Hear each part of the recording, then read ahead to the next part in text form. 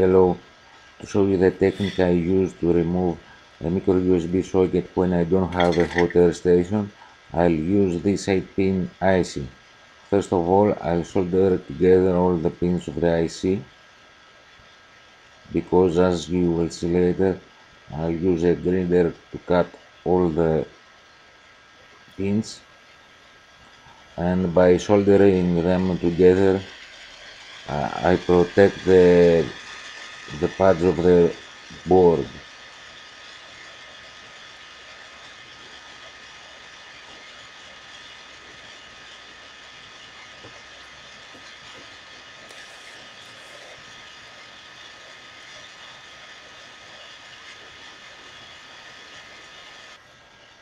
The soldering iron I use now is uh, 15 watts, but it's obligatory to have uh, a bigger a bigger soldering iron as well. For example, 25 or 30 watts.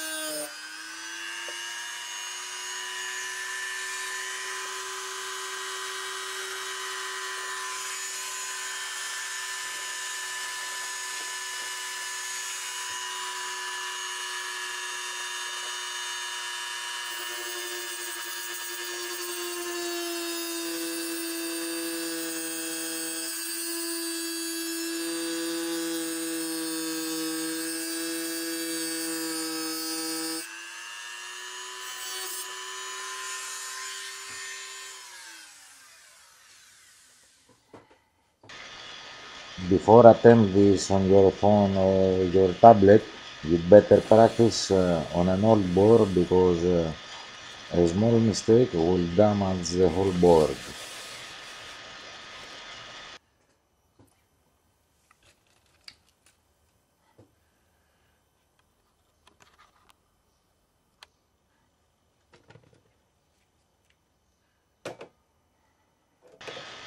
Now this is the flux the flux makes soldering and desoldering easier.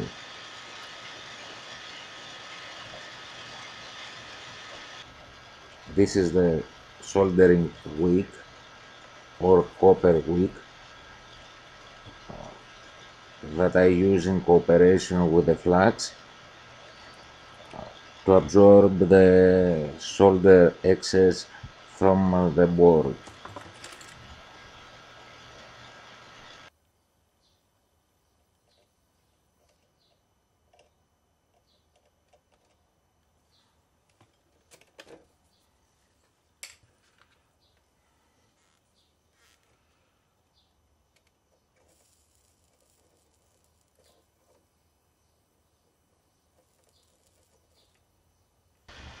First I solder the end of the wick and then I put a little flux on it to make it easier uh, uh, the, the solder absorbing.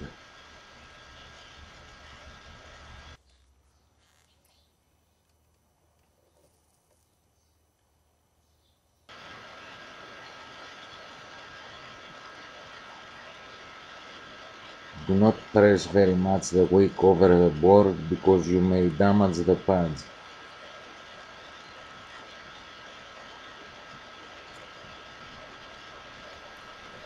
In addition, do not uh, leave the soldering iron much time uh, onto the board because uh, it may overheat and destroy the pads.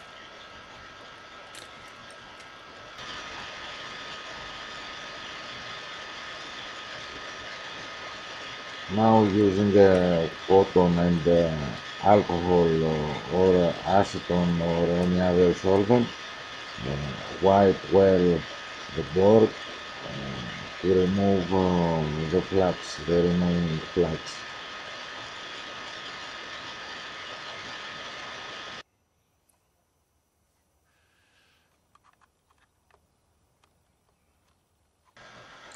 The pads have to be clean and, with, and level without solder on them.